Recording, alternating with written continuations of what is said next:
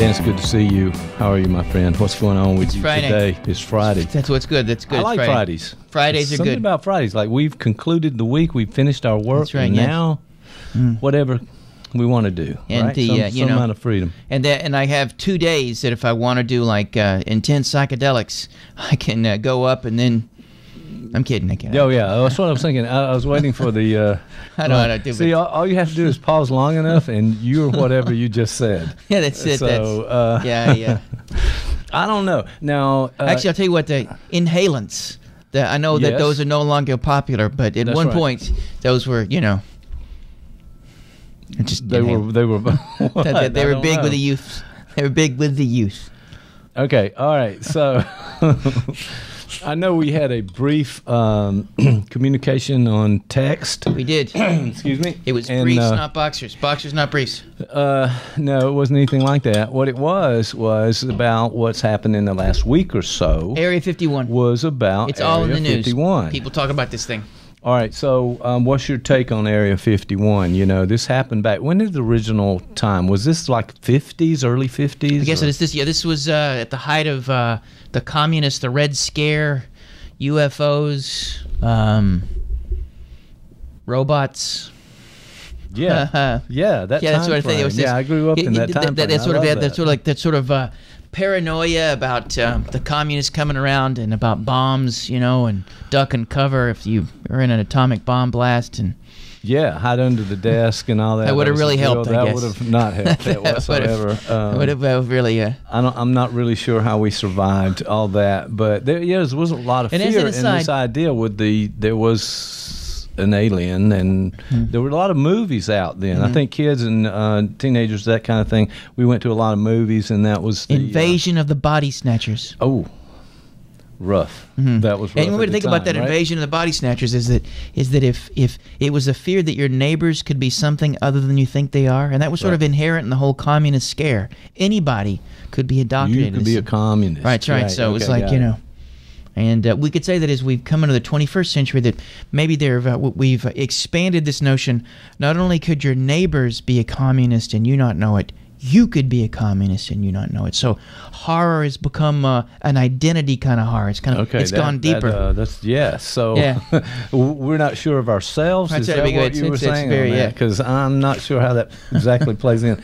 But I know what you're about to do, and I can. Uh, you those of those folks who've listened to our podcast before know. Yeah, that, that, there- includes my mom That is- and two people who have uh, who are on death row. I know. exactly. That's about the entirety of it. And by the way, And- this is and punishing for them. They only have one thing they can listen to this, so it's like Is you know. this what they choose? And- and, you know- if they choose this, then okay. Well, one we, of we them- need we need to perform well, do a good job. one of them I know folks. for a fact fired his lawyer so he could speed up the uh, execution process. I'm just saying. He said, "Look, okay. I'm That's no longer. Let's get that's, this over with." That's where he went. All right, so uh, this idea of Area 51 and fear, we've talked about fear Mm-hmm. quite a bit there, but now we're talking about this being rekindled in the news lately.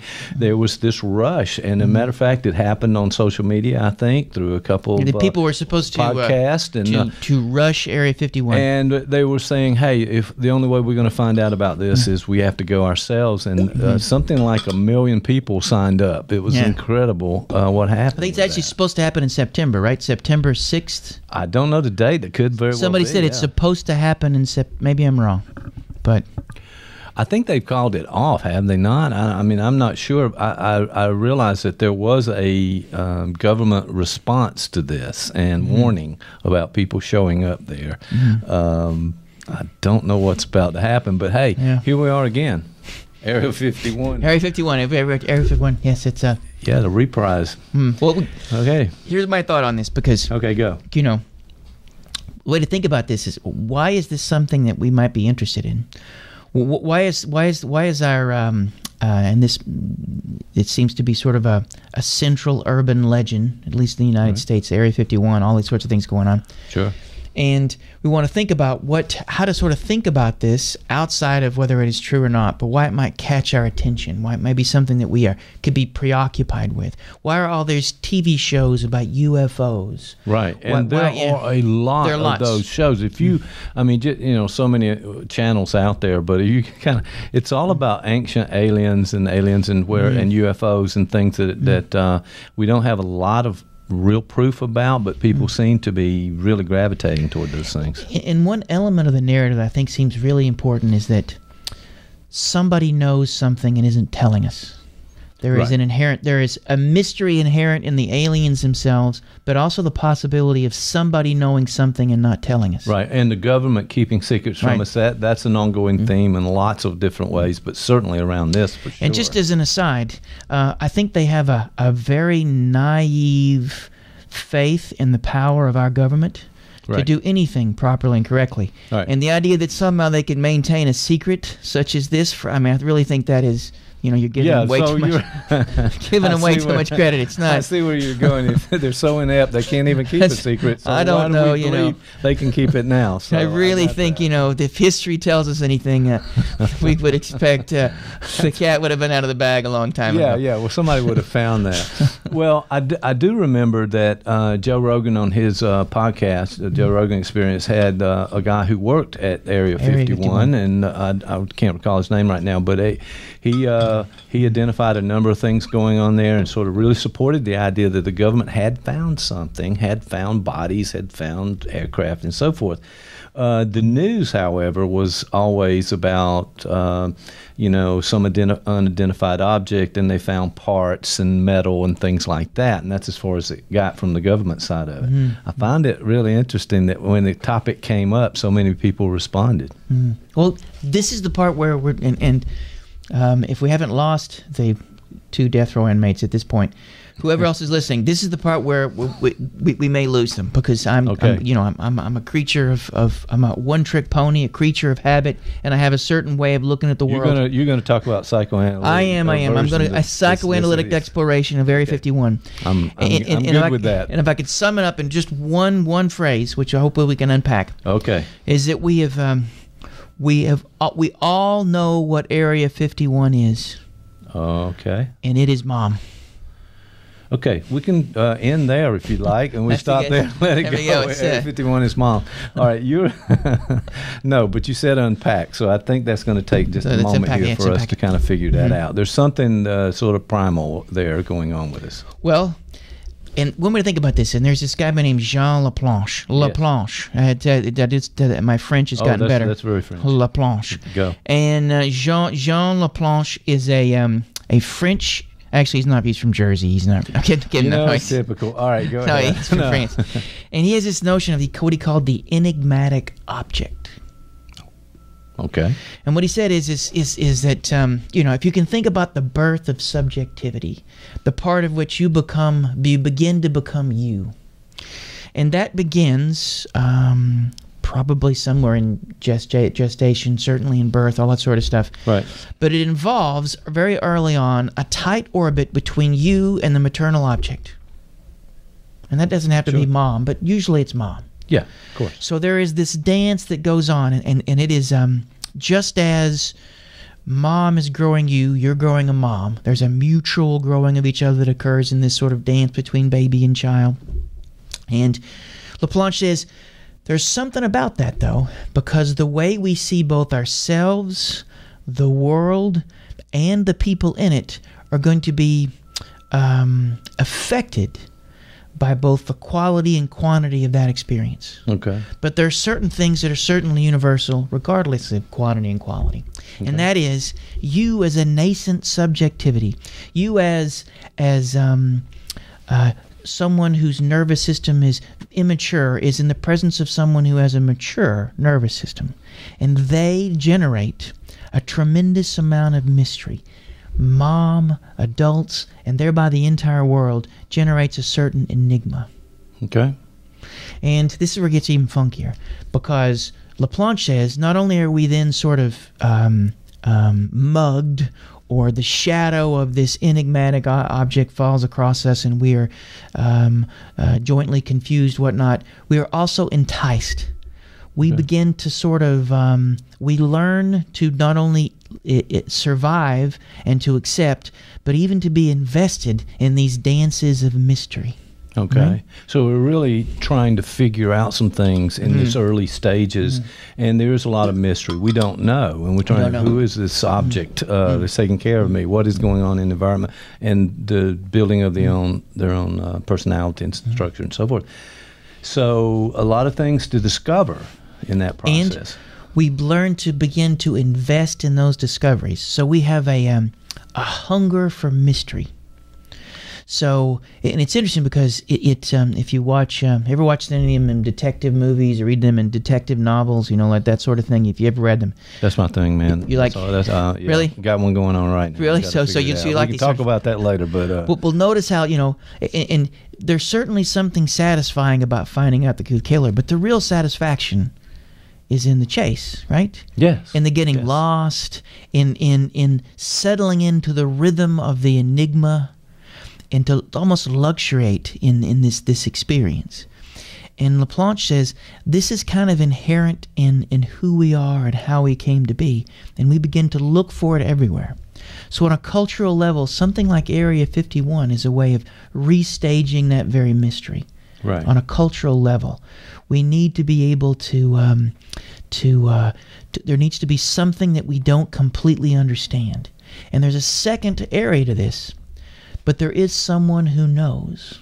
And this is the part where it gets even freakier. Because Okay. if that up, up Oh no, no! I, I, I mean, I really followed you up to this point, so you're about to lose me. But I'll say, I'll say this, mark, mark this point, um, that these are the kind of things that that we gravitate toward. There's a mystery about it. Mm-hmm. We're sort of pulled toward it in lots of ways, and it's about that. And if you find Mm-hmm. something in Area 51, let's say, it ends that in some ways, I guess. Well, this is where Laplanche goes. We, we may not want to go full Laplanche on this, but let's follow through. All right, go. Because the second part of this, there's first is the mystery, the enigma, but the second is someone who is supposed to know.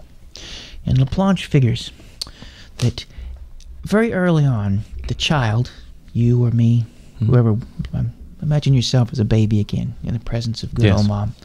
You are aware that there is someone outside the orbit that mom has another investment in, a different sort of investment Mhm. that she, you are the apple of her eye, but her desires also go somewhere else. Ooh. There is someone else outside that orbit, and there is a point at which you begin to um, you begin to have a relationship with this other, the paternal figure. Okay. But before that happens, you you you swim with this enigma, and this also someone who knows your mom in ways that you do not who knows things. So there are secrets, and then there are keepers of secrets. And so this tension between mom and the burgeoning connection with dad generates first the mystery, and then the idea somewhere out there, Right. someone knows. Right. And it's a mystery to you, I Mm-hmm. assume, in that point.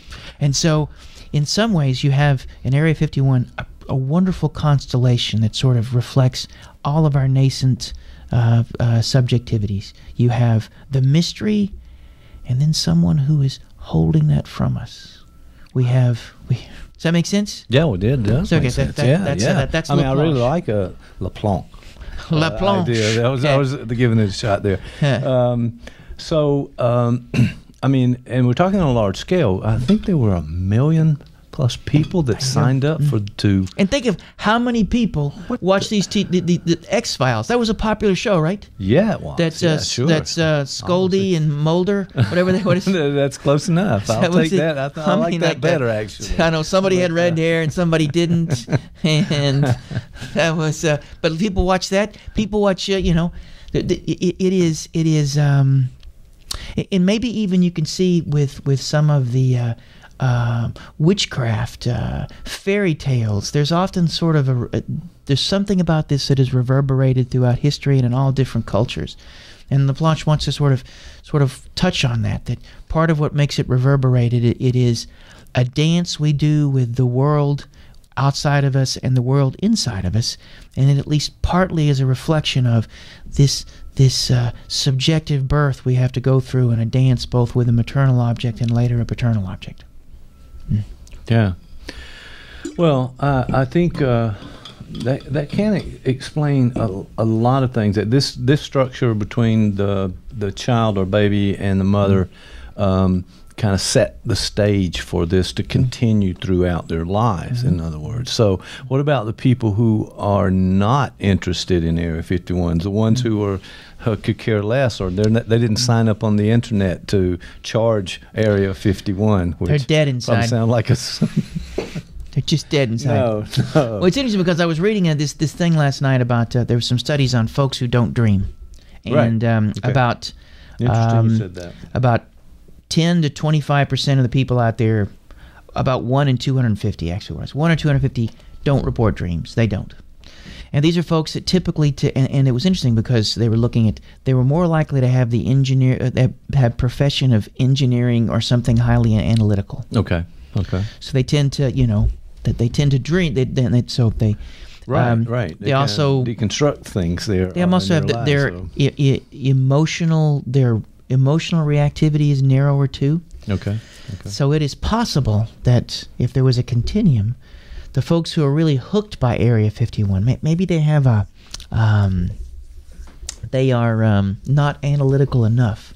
Maybe they are um, their capacity for affect regu- regulation is um, is um, is a little um, it's not as good, and Okay. so what they generate is what's known as a paranoid system.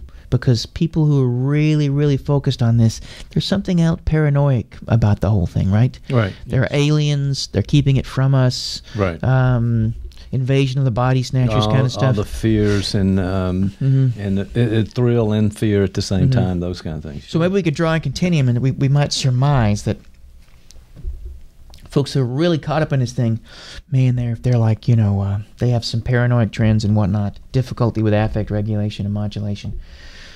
And then on the other end, there are folks who may be more constricted. So mm, we, we could almost maybe we could do an Area 51 test to determine where someone is on that continuum. Oh yeah. Okay. Yeah, it makes sense. It makes sense. Well, the um, it, there's a fascination and a thrill to it that I think uh, people get swept up uh, with, and evidently, what you're saying is this was already in within that person, and it Mhm. sort of ignites or connects in some in some ways too. That Mm-hmm. thrill, that fear, uh, someone else knowing when Mm-hmm. you don't know, and but that seems that that one thread seems to be something that. Um, is in our society the the lack of trust uh, Mm-hmm. in government. That's a big thing now. No one can trust government anymore. It seems kind of Mm-hmm. strange. Uh, it has to be some trust somewhere. Mm-hmm. So. Let me ask a question: If there, if the person has been developed in a healthy way and they've come along, they've had nurturing, they've. Talking loved, about they, me. they uh, other than you, and they had uh, this these kind of healthy uh, environment and so forth and so on. Uh, they may be less have less of this or more of this. Well- Where did well, they fall? Maybe we could say that they have a um, they have a curious uh, interest. Um, they can have a skeptical. They can have just enough distance from their interest in this because one of the ways to sort of gauge um, if you found it fascinating this Area 51, Right. and that is different than uh, someone who puts on the tinfoil hat and believes that uh, the government is going to try to uh, uh, steal their soul and put it into some sort of alien who's I've currently. never worn a tinfoil hat. I just want to say that for the record. Well, I have one a tinfoil fedora because if you're gonna, hey, pretty classy move there. that's a I like little, it. it's a little advanced, but uh, you know. Yeah, kind of get back to the 40s there. It's, it's I like- the same time frame of this. Uh, Actually, I- if you can, uh, if you can wear uh, any any sort of pimp wear that you can also See, combine with aluminum. I, you know, I hesitated to to mention that or trying to be a joke there, but then then you keep going. So I, Yes, I will refrain for the rest of this podcast um, and not do that. All right. So yeah. So those people, what they not interested in it. They they Well, have well, less capacity. For well, maybe that. we say that, that we want we want we want folks who have um, at least a mild amusement Okay. or the capacity for investment in it. Okay. Because I think a complete dismissal or a complete falling into it, the paranoid state, Ma- ma- Maybe we want to find some way to between be, be between those two points because I mean inherent in this and in Laplanche notion of the enigmatic object is we have to cultivate a relationship with mystery. We want to be able to pursue it. We want to be able to feel some joy, some pleasure in in in the unknown. When you mention Right. detective, that's what detective fiction does, right? It puts you in a place, Right. it generates mystery, and that you stay there as long as you can. And if the um, if the writer is good enough, he will continue to generate roadblocks. Right. He and so it, it delays the possibility of foreclosure as long as it can. So your capacity to live in that space and to find some sort of joy may be very important. Right. Right. The paranoid gets lost in it. Someone who is, and maybe it's in between the paranoid and the obsessive, because the obsessive would be someone who needs to have everything um, concise, sequential, um, and in that sense, they would dismiss mystery altogether. There's a, uh, um, okay. a um, I believe it's Daniel Dennett, the philosopher, who talks about disparagingly the he calls them Mysterians, folks Okay. who really want to who who want to preserve mystery, and he sees that as sort of, and I can understand his point, Yeah. but he but he sees that you know that there are. Um, that they somehow have a love affair with mystery, and he sees that goes against the whole notion of logic. It goes against what you know science. Right. Well, um, yeah, because otherwise it's kind of a sterile environment here. There's where, Mm-hmm. where are the mysteries and so forth. Um, And I think yeah, it's, it's there's there's a lot of reinforcement for that and Mm-hmm. uh, the thrill of it and not really wanting to know. Mm-hmm. Let's say, for example, the government decided, hey, wait a minute, we've held on to this Area 51 too long now. Mm-hmm. We're going to open the gates. We're going to open the doors. You guys come in, Mm-hmm. take a look at everything, take pictures, bring in whoever you want to, and merch. mystery. Right. Mis- no, no. Mystery's now settled. It's over Yeah, yeah. with. Mhm. Okay. Uh, we're going to look for something else at that point. Here's Is what I that w- what's going to happen? Here's what I would think that see, I think that would be the very wrong move because then it generates a different mystery. Why did they do this? Where has it been moved to? What- you know, Oh, what, Okay, uh, now this mystery never ends. I'm Uh. getting the feeling that uh, somebody would say, "Hey, they just did a show. They moved everything to another Mm-hmm. spot. They're still not telling us the truth," and on and on it goes. There's a famous go famous forever, joke right? that uh, Freud tells about uh, these these two uh, two guys uh, meet and one they're the one guy's angry at the other and he says, you know, um, uh, why did you say you were going to Berlin when you were going to Berlin? And the butt of the joke is is that he was supposed to say he was going to Berlin, but he was actually going somewhere. But he was going to Berlin and told him he was going to Berlin. So in a way, if if uh, it's maybe not as funny as, as no, it could be. I'm just glad we have that on tape, so I, I can go back and and uh, rewind. and it's, watch it's, that it's not that funny. I But figure it out. uh, yeah, did some some funny jokes. In fact, the number of penis jokes from Freud, you would have come to expect them, I guess. But um, uh, you know, I mean, it's Freud. Sometimes a Yeah. cigar is a joke. It's a joke. but but um, um, the idea is is that is it it would be a little like that. Why are you telling me there's nothing in Area 51 when there's nothing in Area 51? It would really be, you know, it, it Right. would open up a whole different whole different thing. Like what? Why are you doing this? You know? Okay. Mm. Okay. Well, it, it does seem to me that um, we've learned a lot about astrophysics and astronomy and the Mm. the number, the billions of galaxies and billions of But planets. the in cruise, astrophysics. Uh, we need we need the cruise. he on- puts on- the ass in astrophysics. I'm just saying. not- no, he, you did not say that. Sorry, did you? sorry, Did sorry. you say that? Okay. no, but um, the idea that we've learned that so many, so the possibility of Mm-hmm. life on another planet or of, of an advanced um, Mm-hmm. alien race. Uh, coming to Earth and us connecting and all Mm-hmm. of those kind of things. Uh, That's an ongoing one. That seems to be connected. That's a probably a larger one than just the Area 51 in some ways. That, that that mystery goes on and on. Mm-hmm. It goes, it goes, and, and, and you know, the there are always those probings that go on too. That I, I know that people are always telling about that. I've got, you know, I, I, I haven't learned after all this these years now uh, of not to set up the uh, joke Well, that's you know, coming. I can I was- see that in advance. I cleaned don't it up. know. I had a really good one going, but I was like, nah, I won't go there. Cause, but it was really funny. well, good, good. But it doesn't have to do with tell me, tell me afterwards. All right, there we That's go. right. But uh, but so, so you, you, but, well, I, I think one way to think about this is when you when you look up into the sky, Sure. you know the um, there is um, there is a complexity, there is a possibility, there is what Kant called the sublime. That there is something out there that is um, terrifying in its beauty.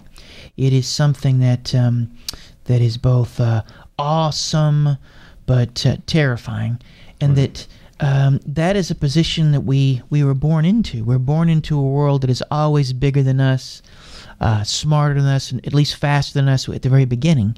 As a child, we are born into this.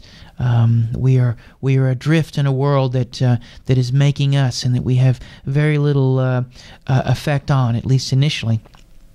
And that Laplanche would say, these are embedded that these become the maps we have of the world Right. when we look up in the stars you know we, with that, we see at least an echo or a mirror or reflection of our own subjectivity being born and in some ways that's reductive and solipsistic and any sort of criticism of psychoanalytic theory can say you know you're reducing it all to this I I think it's not a matter of simply reducing it that, but it, it allows you to sort of think about how uh, there is a, um, a a continuity, a developmental continuity between the things we experience as adults, Area 51, all throughout a life. They're ubiquitous, they're woven through who we are and where we come from. And um, there's Well- great merch around them, too. Yeah, well, it makes uh, it, it makes sense, and the um, aliens. You know, when we have um, so many movies out, it seems like those alien movies always turns out to be some monster in there. It's almost like a genre of the of the horror film, uh, and and and uh, you never see that movie where uh, maybe E.T. for example, but they came Yeah. in friendly, that we developed as friends, and everything's I don't know about you, wonderful, and we're gonna. I always go thought that now. ET looked a lot like a ham. Didn't he look like just an un, like if you opened up a canned ham and maybe it's just me. See now, now that you've um, planted that in our heads, does look uh, it's going to be. it's very, it's very hamish. But uh, my point was that Mhm. there was uh, there. th- It's always some horror or some terrible thing that's going to happen. So we're sort of slanted to this. Um, this uh, um, fear horror side of it, as opposed to What's interesting because we talk about that, someone like us coming and saying, "Hey, how are you?" and you think about just the notion of horror. But this could be something to talk about at some point too. There's another theorist by the name of Julia Kristeva. She's also French, by the way. What is it with these French people? I don't know, man. What? You're um, They're cra- They got these crepes, and You they got seem- these crazy you, theories. You seem to be bringing it up a lot. We'll talk about that on maybe, another maybe. I'm a francophile. Isn't that that's francophile? okay, right? that doesn't But, sound uh, right at all. but um, uh, she had this. She has what's called the theory of the abject, and she says that to define ourselves, it's a little like when you're when you're taking a cookie cutter. Um, to make the cookie in the outline of the person, there's so many other things you have to take away, and Sure. so we. She says we have to render abject parts of ourselves, render them negative to be able to create a cohesive positive. Right. And so there are lots of things about ourselves, and different cultures set different parameters on what the abject is. Yes. Uh, you can think of all sorts of bodily emissions, all sorts of things about the human condition that are sort of like uh, clothing, for instance. Nudity is seen as an element of the abject.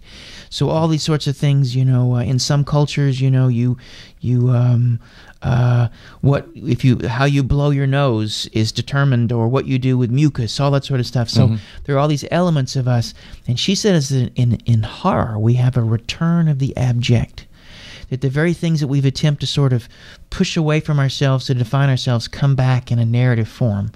Um, she wants a wonderful example. Uh, actually, Zizek uses this example in talking about Christopher.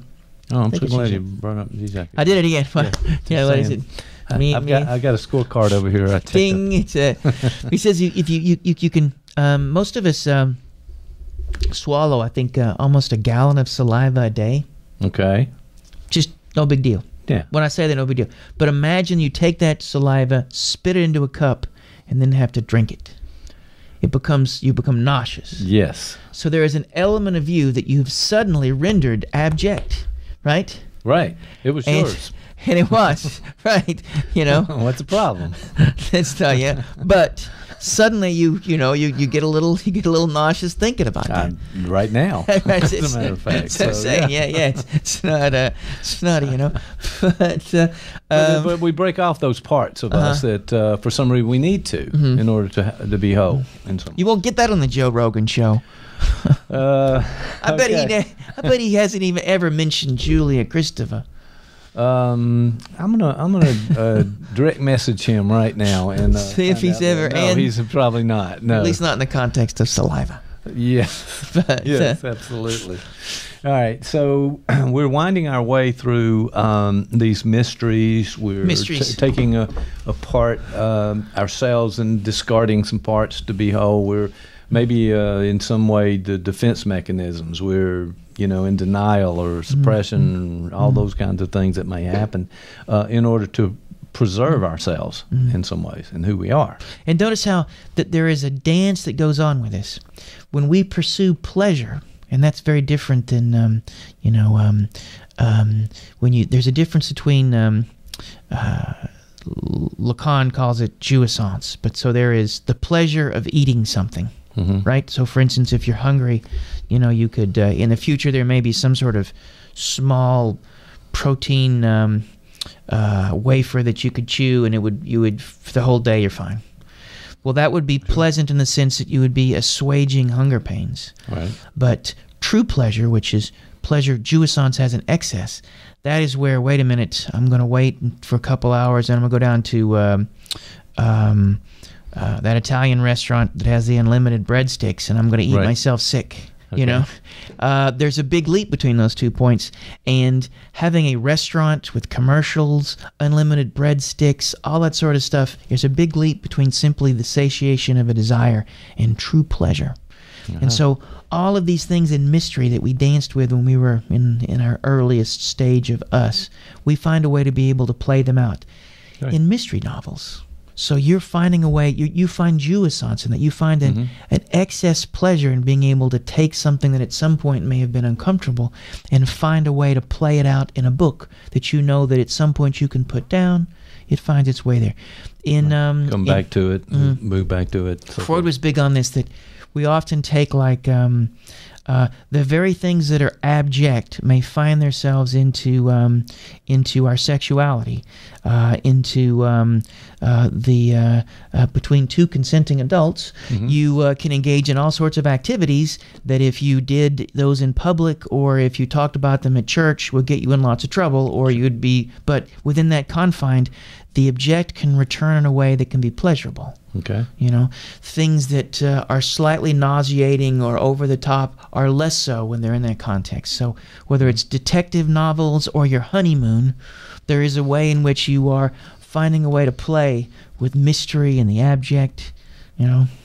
Yeah, I'm, I mean, I, it, it's uh, and by the way that abject would really describe my honeymoon. I'm just Oh, saying. I- not a, uh, you might have seen me smile uh, at that moment, knowing that that joke was coming. Um, I've also I've got So- I, I'm selling videos, so if you you know you could, you could actually be witness to that event if you want. Just saying.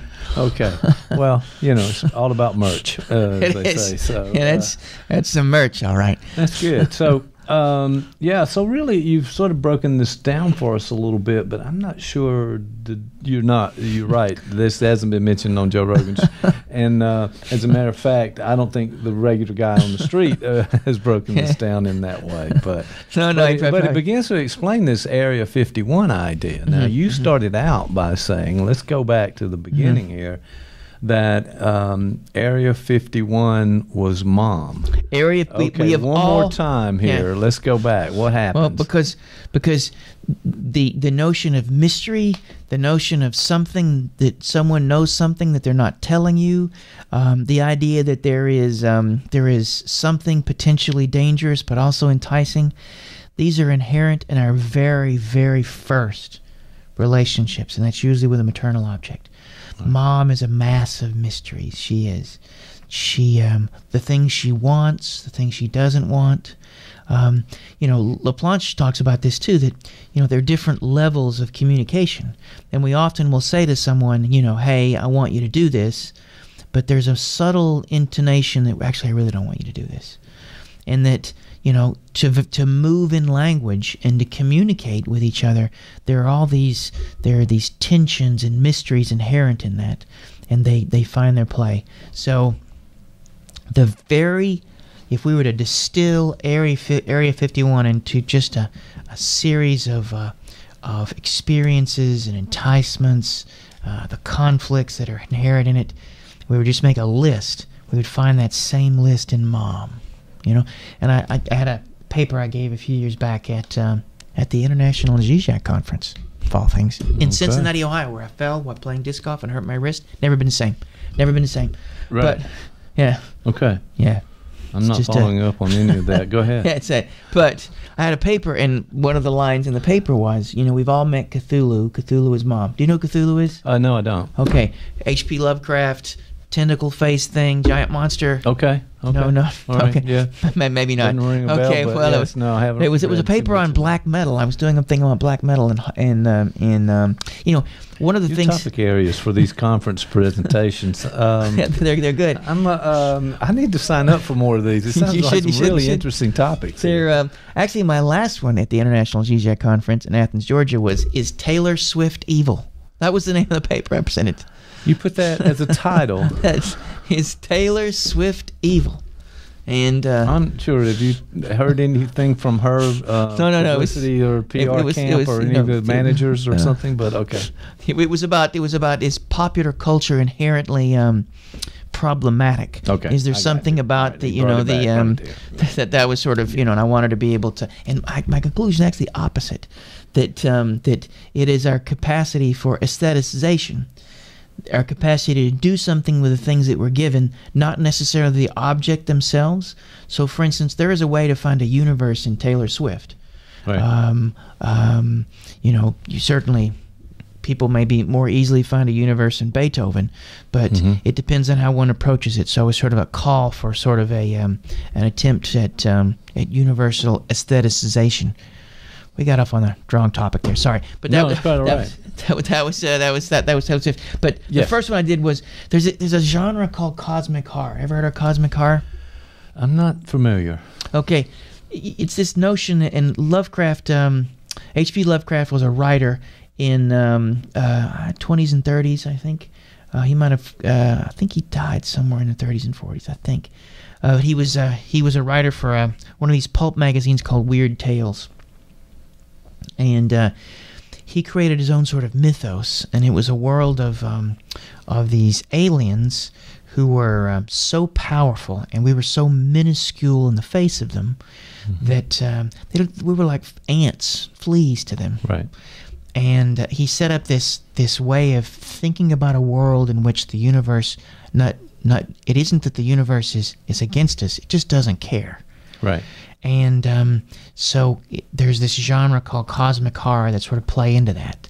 I was trying to think of some films that might be within that uh, uh, realm. Uh, um, some of do you ever Stranger Things see the TV show? Sure. That has some elements of cosmic horror. The characters there, the the Mind Flayer is sort of Lovecrafty in a way, Mhm. and then it, you have the you know the giant thing at the end that uh, I don't know if you've seen the second season, third season, or third season. Third season I have not seen. Yeah, Third I'm. I'm, I'm two episodes away from the end of it. Okay. You know, it's I'll- not. I'll Uh, start catching up soon. It's not. Uh, you know, I. Uh, uh, it. It. It. Would, I really think it took away from it when um, Jerry Seinfeld turns out to be the monster. I don't know if you. Uh, it's not a All right, that worst cameo. did not happen.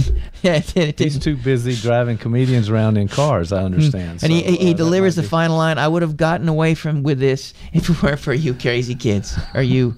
what's the line? Scooby Doo. You know Scooby Doo. Yeah. okay, it's. All right, we're going. I think we just covered. I mean, most We comic went a lot books of have things. been out Went- All went a lot right, we'll, we'll come back. We'll come back to that. But yeah, so the unfeeling uh, monster It's doesn't like, care. and it's, it's universe huge. It's like you know, like Cthulhu is like Godzilla sized, and he's he's just sort of, and there are these there's these forces at work that we're just simply just sort of the playthings of, you know. Right. Right. Again, Uh, sounds like my wedding night. Put a boom boom. but boom. Yeah. Speaking of cosmic horror, You know, uh, if were, uh, you know, if our podcast grows at some point, we're going to have one guy with uh, snare drum and uh, Ting. da-da-dum, pow, you know, one of Yeah, those. that's what she said. Uh, oh, Yeah, we're it. not going to. we're not going there, are we? All right. So, all right. Well, you, you've um, you've given us a lot to think about in terms of this Area Mhm. 51 and what it really relates to us on a psychoanalytic and sort of deeper level of understanding and how we why we gravitate toward those You know, things. th- and th- that th- there's a flip side of this too. You have to be careful because one uh, one can get so lost in theory that one can lose sight of the world in which you, you, you're, you're walking in. Sure. So it isn't that Area 51 couldn't contain these mysteries Right. or that there aren't aliens. If we simply dismiss it as just an echo of our early subjectivity and the birth of our subjectivity, we, what we should do is we should be able to, to make use of where we come from to inform and maybe even generate pleasure in the present day. You know, Sure. um, um, all the ways in which we were frustrated or things didn't work out um, have ge- generated just the sort of tensions that we could find in the things we enjoy. Your interest in detective novels. If we put Sure. you on the couch and begin to talk to you, we Yeah. might find some some interesting precursors in your childhood that might that might uh, what you look for when you pick up a detective novel. It might be interesting. You know what what would it, you know like what sort Yeah. of and there are different genres. That there's hard boiled detective. There is uh, the Yeah, British yeah, detective. There's uh, different genres. They're, they're, they're the uh, police uh, procedurals. procedurals. That's yes, right. Yes. There we go. And what, and what do you prefer? Um, I whatever's next in the authors list that I haven't read. So, So, but but, but who the who would be an author that you're like really uh um, well, now you put me on the spot there. I have to think of uh, Okay, this okay, one. so- But um, so generally, I, uh, they are police detective. That's the latest one though. But we've been through a number of different uh, genres in there. anything involve cats that solve crimes? No, no cats, no cats Serious in, one, our, yeah. in our novels. Sue Uh, Grafton, this the point. ABC, Yeah, the the mysteries. Yeah, yeah. that, that that involves a cat, doesn't it? There's a cat in there somewhere. Okay, that's I'll take so. your word for it. Okay. All right, I'm about to get in trouble here. I can't. Remember. I'm gonna have to bring my list of Maybe books it's next time, I, I don't so know I'm if you like. caught uh, off guard. uh, I'm sorry. um, is it Man Keller, the guy from um, one of the Swedish crime novels? yes, yes. I uh, I I, I, I uh, think my I've gone through mother-in-law those, yeah. gave me a bunch of those, and I read them, and they're they're very bleak. Very bleak. it's always ice cold, It's uh, very, uh, snowy. people, he's- uh, you He's like, you know, got uh, uh, pancreatitis and doesn't want to get out of bed, and there's all these things going. on. I'm like, wow, I thought Sweden was a socialist paradise. Paradise. What's going on here? no, You know, it turns out that it's ABBA? not. This is not the ABBA did not prepare me for this. No, it's not. You know? not the same anymore. Uh, the bodies are always frozen under the that's ice. right. I It's, mean, it's, so it's that's yeah, not it's good. not. Uh, you never Uh, see. All right, this has been interesting. I don't know how we pulled this back uh, Mhm. exactly, um, and I don't even think I'm going to try because uh, Well, here- done here's this our before. takeaway. Here's our takeaway. So- I'll, I'll reiterate. The takeaway is this: All right, here we go. want to be able to find a way to find joy and pleasure in mystery, the enigma, the enigma of the things. It's un the the unsolvability, or at least the tension toward being able to solve a thing, would can create for us a journey that is that is full of all sorts of pleasures. It is in the picking up and reading of a detective novel that we find many things. And so I think an interest in Area 51 and an interest in all these sorts of things, whatever esoteric thing they may be, uh, people are often interested in serial killers, for instance. And part of that is because the serial killer represents a remarkable example of the return of the abject. The parts of us that we, you know, we the the parts that we find in a serial killer are the parts of ourselves that we have cut away and we want to project into the serial killer and then have a relationship with through this this aesthetic distance through the medium of literature we have a way of dancing with ourselves and the, having the pleasure of that dance same with area 51 Well, I, I do. I do think there's some fun in all of this and Mhm. having all of these interests out there, and whether or not they're um, a little dangerous, uh, as it were, and getting in touch with ourselves uh, sounds a little more, more like theory than just the Mhm. pleasure in. and also if you're catholic it's not, you're not supposed to do that and you can go blind Okay. okay. All right. I'm just gonna. Uh, I'm just gonna leave it right there. Um, Dan, thanks for coming in. I'll see you next time.